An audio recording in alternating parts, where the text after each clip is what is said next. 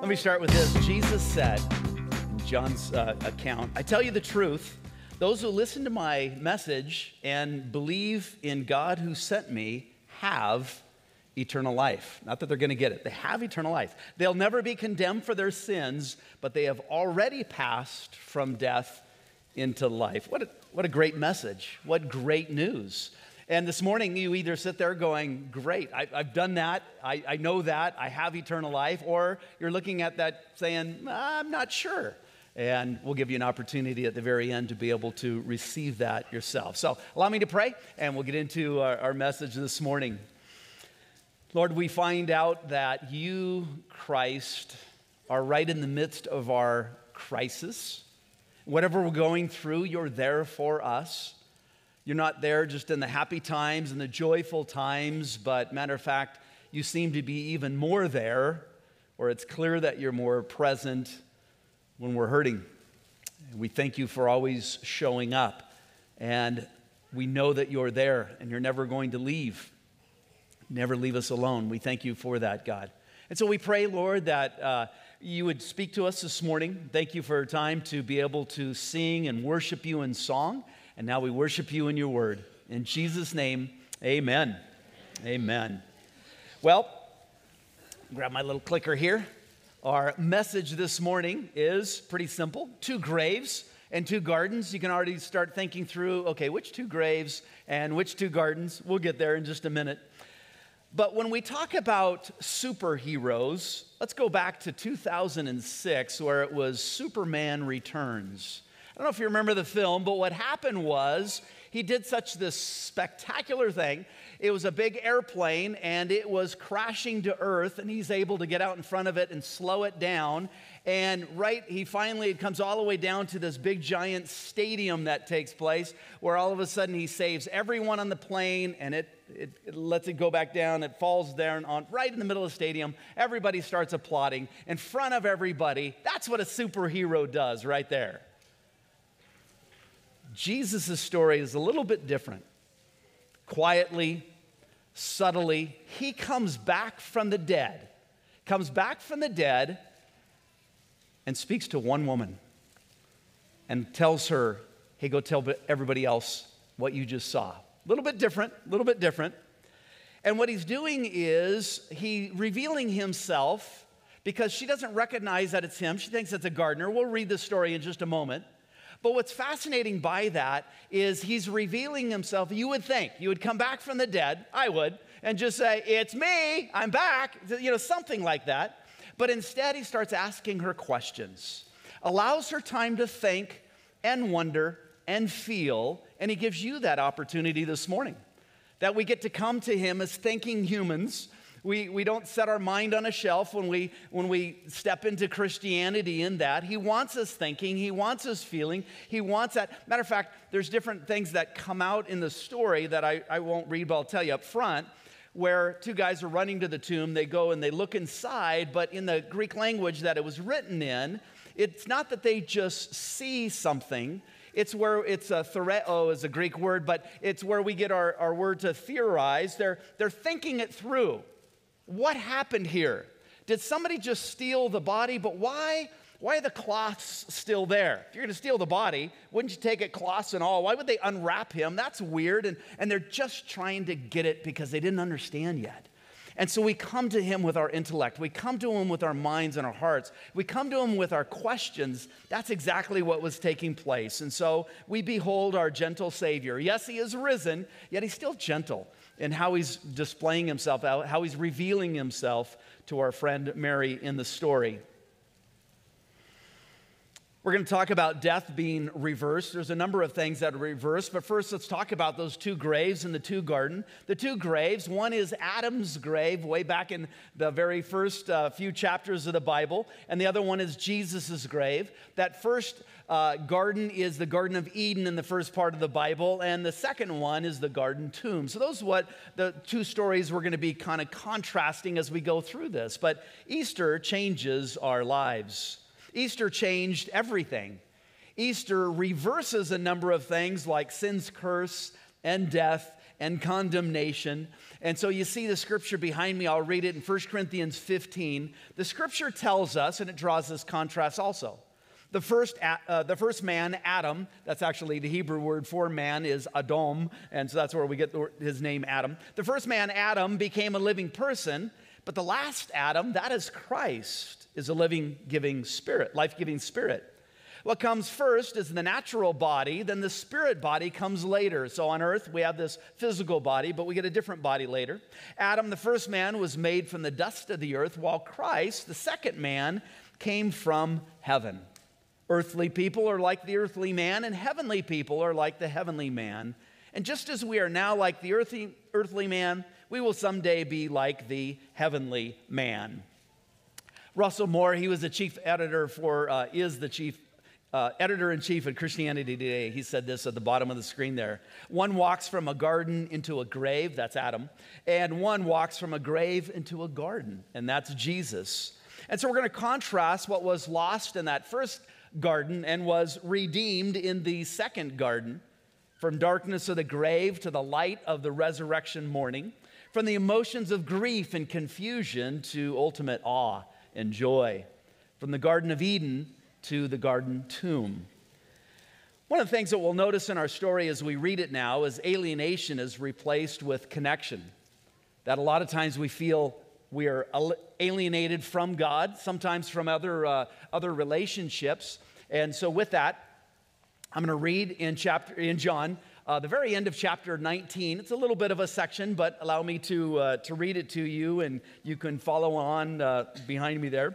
But in chapter 19, it sets up our scene. Now, in the place where he was crucified, there was a garden. Now, a lot of times, you and I, when we think of gardens, if you've been to the cemetery here in Murrieta or in Temecula or forest lawns, you think of perfectly manicured, you know, guys running around with weed eaters, keeping it all nice in that way. That's not what's happening here. Where he dies, it's a very famous uh, uh, holiday. It's Passover, right? And they just want to bury him. They don't want to be dragging him all the way across the city or something else. It's right next door. There's a rich guy who has a garden. That would be like vegetables and fruit kind of garden kind. It's just a garden, right? And it's just right next door. He had hewn into the limestone a place for himself when he died, so it's never been used. It'll say that next. And with that, they go and they place him there. It was just convenience is what's happening, and that's why we're in a garden. But now, in the place where he was crucified, there was a garden, and in the garden, a new tomb in which no one had been laid. So, because of the Jewish day of preparation, since the tomb was close at hand, they laid Jesus there. So it was convenience, it was just close. Chapter 20. Now, on the first day of the week, Mary Magdalene came to the tomb early while it was still dark and saw the stone had been taken away from the tomb. And so she ran and went to Simon Peter and the other disciple, the one whom Jesus loved, and said to them, They have taken the Lord out of the tomb, and we do not know where they have laid him. So Peter went out with the other disciple. Now, it keeps saying the other disciple. We believe it to be John here who is writing this. And they were going towards the tomb. Both of them were running together, but the other disciple outran Peter and reached the tomb first. That's really why I think it's John, because if you're a guy writing the story and you're on a foot race, you're going to tell that you won. Okay, verse 5. And stooping to look in, he saw the linen cloths lying there, but he did not go in. And so he gets there first, just kind of looks in, then Peter comes up behind him. Then Simon Peter came following him and went into the tomb. And he saw the linen cloths lying there and the face cloth which had been on Jesus' head, not lying with the linen cloths, but folded it in a place by himself. Then the other disciple who had reached the tomb first also went in when he saw, excuse me, for, and he saw and believed. For as yet they did not understand the scripture that he must rise from the dead. Then the disciples went back to their homes. So they're perplexed. They're trying to figure it all out. They're, they're, they, they get it, they, they believe it, but they, they don't understand it fully. They leave. Who stays behind? Verse 11. We're going to change that one. Thank you.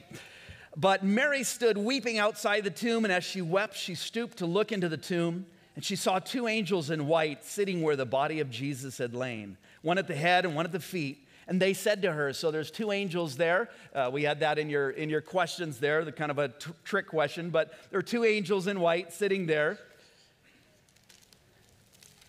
where the body of Jesus had lain, one at the head, one at the feet. And they said to her, Woman, why are you weeping? And she said to them, They have taken away my Lord, and I do not know where they have laid him. And having said this, she turned around and saw Jesus standing, but she did not know that it was Jesus. And Jesus said to her, Woman, why are you weeping? Whom are you seeking? Supposing him to be the gardener, she said to him, Sir, if you have carried him away, tell me where you have laid him, and I'll take him away. And then here's the, this next verse that's really a, an incredible change of history here. And so we'll kind of slow it down into slow motion here. Jesus said to her, Mary. She turned and said to him in Aramaic, Rabboni, which means teacher. And Jesus said to her, Do not cling to me. Obviously, she was. For I have not yet ascended to the Father, but go to my brothers and say to them, I am ascending to my Father and your Father, to my God and your God. Mary Magdalene went and announced to the disciples, I have seen the Lord. And they said, they, uh, it, excuse me, and that he had said these things to her.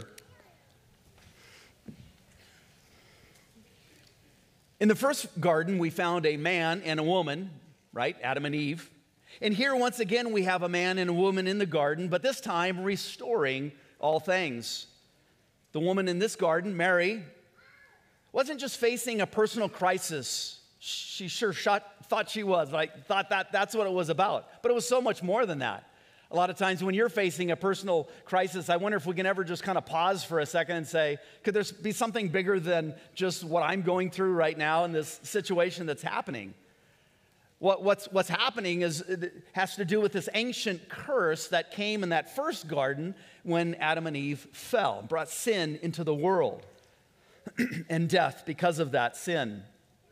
What Mary then sees is not just a happy ending to a story where she's been kind of watching it lived out, but no, what she sees is God reversing the whole story of the universe. Again, she hasn't understood it all yet, but that's what's happening. Now, Mary's upset. She's standing outside the grave. When she saw the tomb rolled away, the, the stone rolled away, and looking at that, grave robbers. That's what, that's what she's thinking. She doesn't understand the whole resurrection here, so she's processing all of this. And so she's upset that the grave robbers had taken the body of the one that she had been basically gave up everything for. And what the angels do is basically point her out of the grave and back into the garden so that she might learn about the reversal of the corruption, about what had happened, what had taken place. Now, we're all headed into the grave.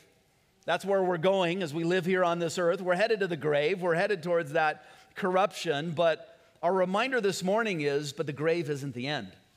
The grave isn't the end. The story doesn't end there as he's showing us in his resurrection, right? The angel sent her out of the grave and into the garden, and in the garden she meets one who she thinks is the gardener, but he's not.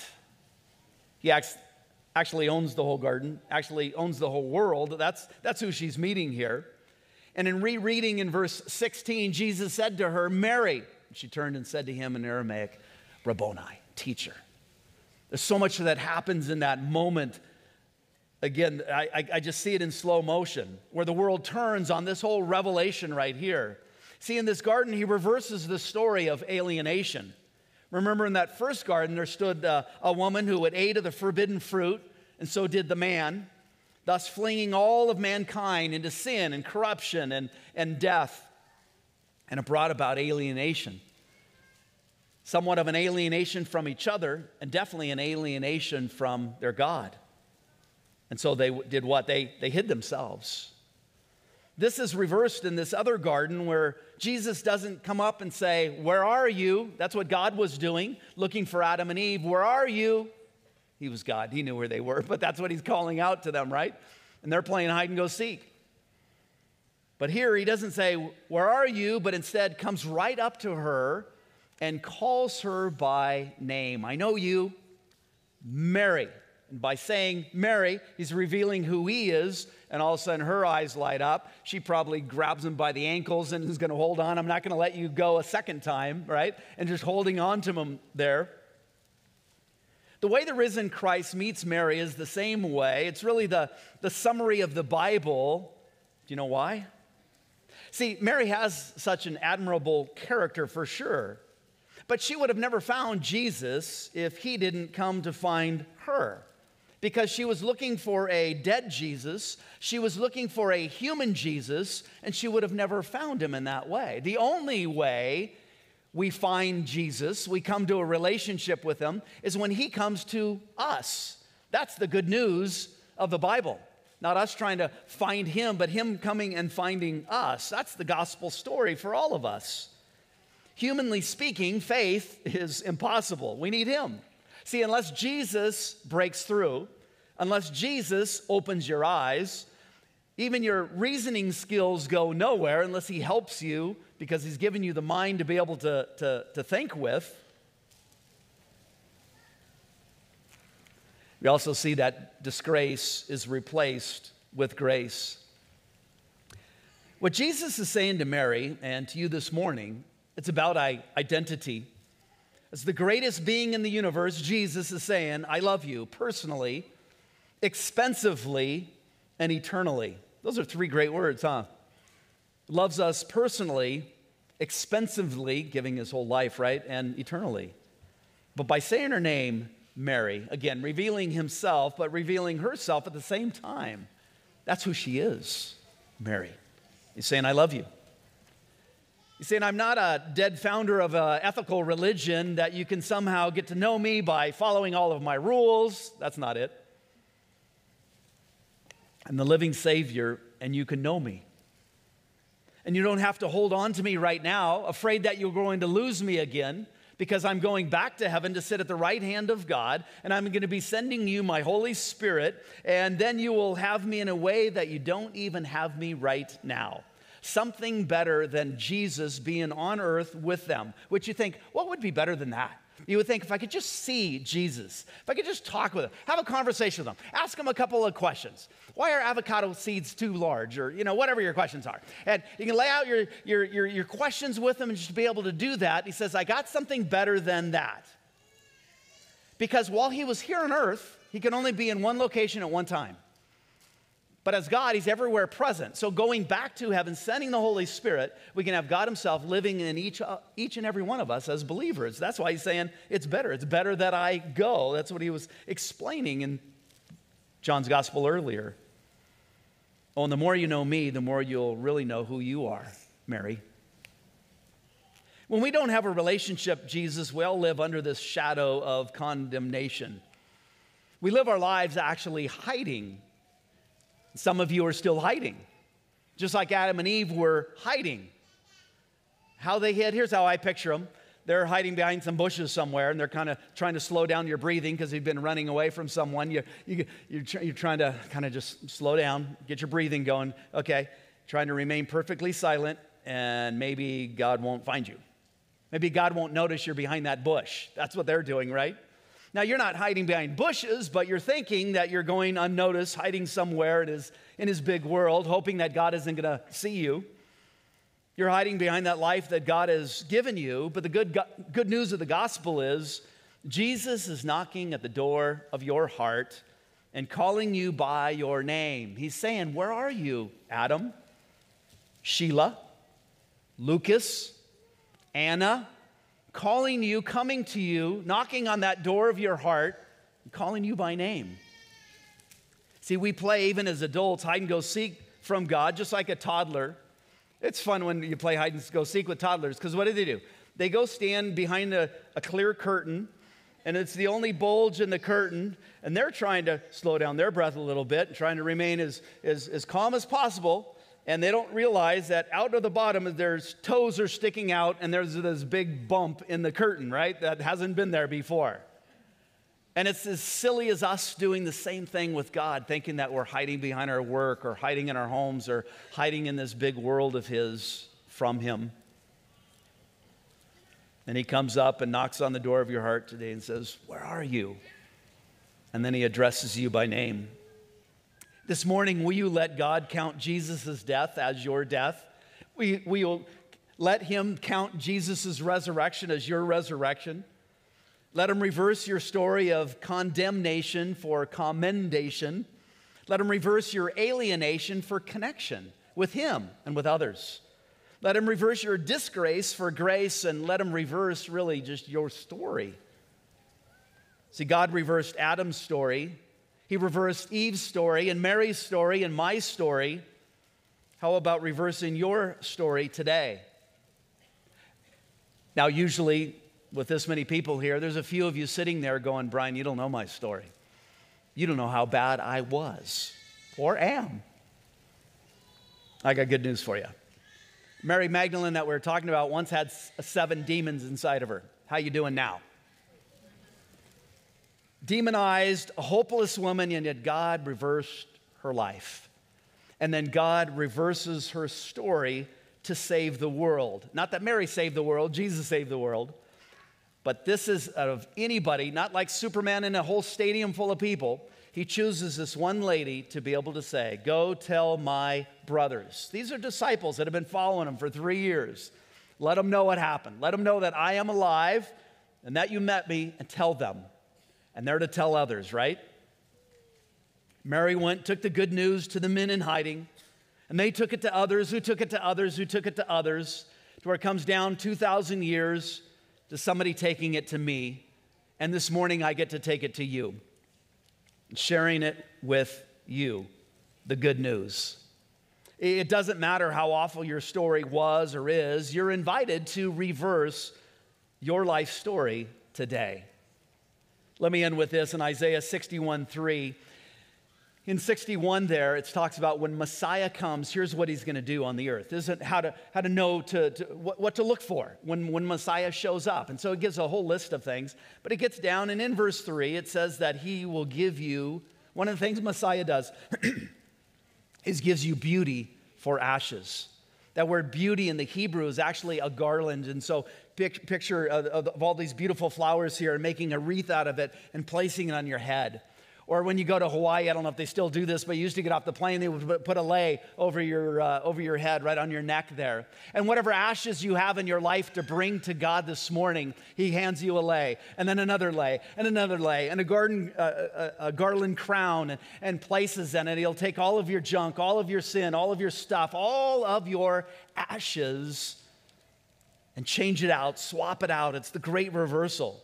And so this morning, give him your ashes. He'll reverse what you bring him and repra- replace them with like the, the ashes of fear with hope, the ashes of hate with love, the ashes of regret with new promises, the ashes of loneliness with divine friendship, the ashes of sorrow and sin with joy in God. The ashes of soul sickness with inward healing, the ashes of bondage with spiritual liberty, the ashes of unrest with heart's ease, the ashes of worldly envy with godly contentment, the ashes of defeat with victory and holiness, the ashes of godless pleasure with a worthwhile life. See, God will give you beauty for ashes this morning. Simply bring them to Him. This morning, maybe you've been hearing him knocking on the door of your heart, calling you by name, and saying, Today's the day. This resurrection day. It's a day of new beginnings, it's a day of fresh starts. And maybe it's your day. And I'd like to give you that opportunity to pray and say, Lord, I want you to come and live inside of my heart. Let's pray now. God, we thank you for exchanging beauty for the ashes of our lives. What a great deal that, that you have made us to take all of our sin and junk and mess ups and to be able to bring it to you today. And you say you'll take it and give us a crown in return. Lord, I pray for those that are in the fellowship hall, those that are listening online, those right here in this room are about to raise their hand, that are ready to and to be able to say, God, I want to make sure I'm part of your family. I want to be forgiven of my sins. I want to have a relationship with the divine, Lord, with you. I want this free gift of eternal life. If you'd like to do that, I'd like you to raise your hand in a moment to say yes to that. Simply yes to Him. And I'd like to say a prayer for you in kind of sealing that deal, saying, Yes, today I want to be your daughter, I want to be your son, I want to be part of your family.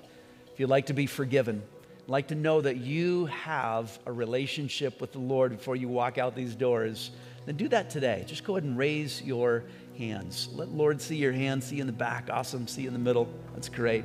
Off to the side. Great. See you both there. Anyone else? See the little guy up here. Awesome. Couple, three, four in the back. Great. You guys in the middle there. Awesome. And I can't see you in the fellowship hall, but the Lord does. And online. That's awesome. Just make this a prayer. You can put your hands down now and just make this a prayer from your heart. You can kind of repeat it after me as God, I am sorry for the sins that I've committed against you and others. Please forgive me of those sins. I receive you into my life. Thank you become, for becoming my family today, my father, that I could call you Abba. I can call you Daddy. Thank you for that. Thank you for making me your child. Thank you for this free gift of eternal life. Thank you for today starts a new day. Thank you for reversing all of the stuff and junk and past and making today a new day. Lord, help me walk now each and every day to become more like your son. Help me to learn about you, understand who you are. So continue to reveal yourself, Lord, to me. May I just fall deeper in love with you each and every day. I give you my life. In Jesus' name, all God's people said, Amen.